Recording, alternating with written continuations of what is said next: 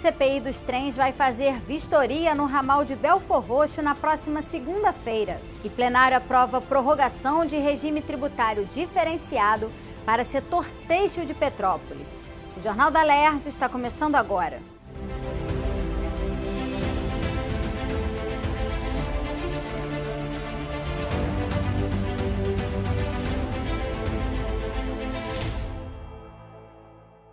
Boa noite. As empresas têxteis de Petrópolis podem ter o regime especial de tributação prorrogado até 2032. O projeto foi aprovado nesta quinta-feira pelo plenário. Na sessão ordinária desta quinta-feira, os parlamentares aprovaram a redação final do projeto da deputada Tia Ju, que altera a lei que criou o selo Empresa Amiga da Mulher. O objetivo da parlamentar é apenas corrigir o texto, substituindo a palavra escola por empresa, quando diz que o selo deve ser requerido ao órgão competente do Poder Executivo pela empresa interessada. O texto segue para a análise do governador. Vai ajudar muito as mulheres aí vítimas de violência principalmente, né? E é, é, é, as empresas também, eu acho que toda, toda empresa vai querer ter esse selo, amigo da mulher. E daí o que mais essas mulheres precisam que é emprego e renda. Para quebrar, quebrar esse ciclo de violência, elas precisam ter autonomia. E autonomia só se dá com emprego e renda. Pode ser criada no Rio a campanha de divulgação do aplicativo Maria da Penha Virtual. A proposta prevê a divulgação em repartições, instituições públicas e também o impulsionamento em redes sociais para alertar e avisar mulheres vítimas de violência que elas podem solicitar de forma online medida protetiva. Essa proposta da deputada Zeidan foi aprovada em plenário e segue agora para a análise do governador. Empresas privadas instaladas no estado do Rio podem ser obrigadas a contratar funcionários habilitados na linguagem brasileira de sinais. Estão incluídas na proposta empresas com mais de 100 trabalhadores. 2% do total devem ter a habilitação em Libras. O projeto do deputado Valdeci da Saúde foi aprovado em segunda discussão e segue para a análise do governador. E os parlamentares votaram proposta que regulamenta o pagamento de gratificações de funcionários de organizações sociais com recursos do Estado. Segundo a proposta, o governo deverá criar uma conta específica onde será depositado as verbas para esses pagamentos, que incluem 13º, férias, verbas rescisórias e encargos previdenciários. A proposta da deputada enfermeira Regiane e do ex-deputado Paulo Ramos recebeu uma emenda dos parlamentares e retorna para análise das comissões. Também analisado o projeto do deputado Anderson Moraes, que altera a lei do plano de cargos e salários da FAETEC. O parlamentar acrescenta artigo para garantir a equiparação salarial para funcionários que exerçam funções idênticas na instituição. O projeto recebeu três emendas e retorna para análise das comissões. Aprovado o projeto que cria o selo Empresa Amiga da Saúde da Criança para as empresas públicas e privadas que desenvolverem e divulgarem campanhas de arrecadação de verba, materiais, equipamentos e insumos para auxiliar no tratamento do câncer infanto-juvenil. A proposta do deputado Daniel Librelon retorna ao plenário para mais uma votação. Na primeira sessão extraordinária, foi aprovada a proposta dos deputados Luiz Paulo, André Siciliano e Lucinha, que concede até o final de 2023 um regime especial de tributação para estabelecimentos localizados no município de Petrópolis que sejam fabricantes de produtos têxteis, confecções, estamparias e aviamentos para costura. Segundo os parlamentares, o projeto vai possibilitar a recuperação econômica de Petrópolis, já que o benefício concedido também também será estendido ao comércio varejista da capital da moda do estado fluminense. O projeto vai para a análise do governador. Com a calamidade pública, as tragédias das duas grandes enchentes do primeiro trimestre desse ano, os prejuízos na Rua Tereza e nas comunidades também que abastecem com a costura a Rua Tereza foram imensos o comércio ficou praticamente quebrado. O impacto na receita, que faz parte de um anexo é muito pequeno, função do tamanho da tragédia. Na segunda sessão extraordinária, foi discutido o projeto dos deputados André Siciliano, enfermeira Regiane e mais 22 deputados, que obriga o Estado a reparar as vítimas de segregação decorrente da política sanitária de contenção da hanseníase. Uma das diretrizes do combate à doença no Brasil era o isolamento das pessoas em sanatórios e leprosários. Os filhos das pessoas com a doença eram compulsoriamente afastados e permaneciam sob a guarda do Estado.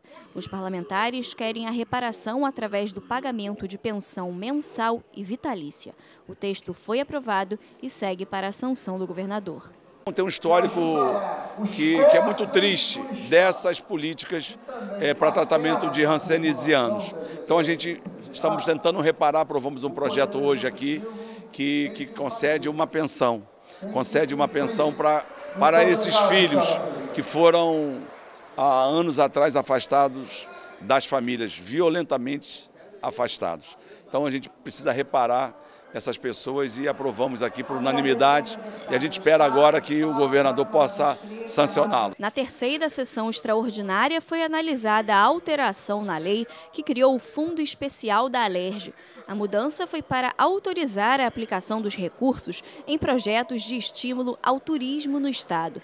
A proposta também acrescenta que esses investimentos poderão ser efetivados através de consórcios públicos. O texto dos deputados André Siciliano, presidente da LERJ, e Jair Bittencourt, vice-presidente, foi aprovado e segue para a análise do governador.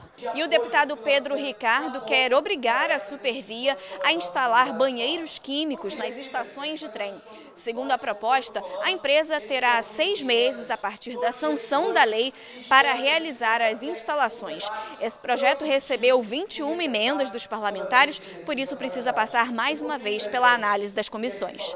Na quarta sessão extraordinária, os parlamentares discutiram a prorrogação do prazo para inscrição no programa Recupere PVA até 31 de dezembro de 2022. O prazo da atual legislação termina em 30 de junho deste ano.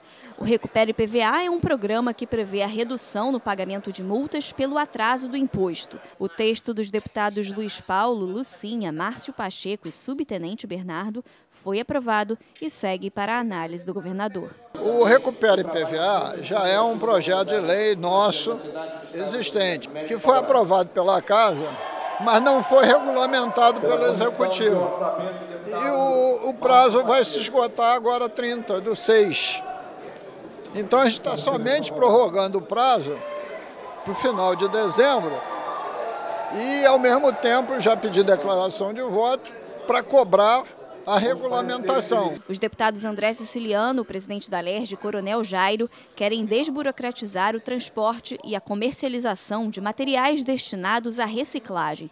Os parlamentares pedem a criação de um zoneamento livre para as atividades de coleta, transporte e comércio de materiais recicláveis. Esses locais deverão criar um cadastro estadual simplificado dos catadores, o SESC. O objetivo é facilitar o acesso dos trabalhadores e o transporte do material coletado. O texto recebeu 14 emendas e retorna para a análise das comissões. O Rio de Janeiro pode ter um programa para incentivar os eventos de pequeno porte da cultura popular. O governo deverá estimular a produção, o acesso e a valorização através de editais, prêmios e incentivos. O texto da deputada Dani Monteiro recebeu seis emendas e retornou às comissões. As diversas manifestações culturais que foram gestadas, organizadas e ganharam o mundo a partir das ruas, elas são referenciadas. Em destaque o próprio samba, que hoje tem um sambódromo, há diversas escolas, preenche né, as esquinas e vielas aí pelo estado afora, mas também se iniciaram nesse espaço da ocupação do espaço público. Então, garantir que os eventos de pequeno porte, ou seja, até 2.000, 2.500 pessoas, possam ter o acesso à ocupação do espaço da rua desburocratizado, inclusive reduzindo custos com alvará e com algum nível de exigência, faz com que a rua possa ser ocupada de uma forma mais livre. Já o deputado Marcos Miller quer que o Estado convoque os aprovados no concurso para o Corpo de Bombeiros realizado em 2022 para tomar posse e iniciar iniciar o curso de formação de acordo com as vagas disponíveis na corporação. O projeto foi aprovado e segue para a segunda discussão. O presidente da Alerj, deputado André Siciliano, comentou a aprovação nesta quarta dos quatro projetos de autoria dele que concedem incentivos fiscais para as indústrias de vidro, papel e papelão, química e de embalagens plásticas. São projetos que desoneram a compra de equipamentos e máquinas para esses setores e criam condições para que a gente possa trazer para o Estado do Rio de Janeiro empresas que hoje não estão no Estado do Rio de Janeiro. Temos matéria-prima, como por exemplo o setor de plástico, que é o gás, para transformar em polímeros, e a gente perde, a gente acaba exportando polímero a um dólar o quilo importando produtos acabados como sacolas, como filtro, filmes plásticos, como embalagem de margarina, por exemplo, a 5 dólares o quilo. Então a gente precisa ter essas empresas aqui e os projetos que aprovamos são fundamentais para que a gente possa ter de volta os empregos que o Estado tanto precisa. Na próxima segunda-feira, a CPI dos trens vai fazer a última vistoria em uma estação da Supervia antes da apresentação do relatório final da comissão. Os parlamentares vão checar as condições oferecidas aos passageiros no ramal de Belfor Roxo. A presidente da CPI, deputada Lucinha, falou sobre o trabalho que tem sido feito nos últimos meses. Essas vistorias são importantes porque vai dar embasamento para o nosso relatório final.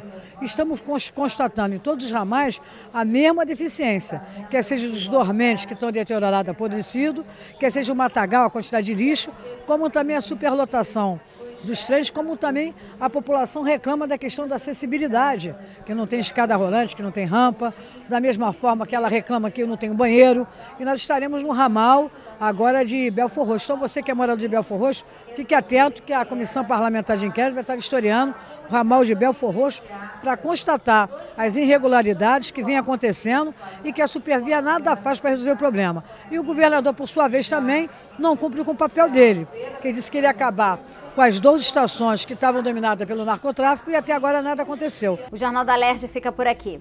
Você pode acompanhar a programação também em nosso site e pelas redes sociais. TV Alerj, o canal do povo. Uma boa noite para você e até amanhã.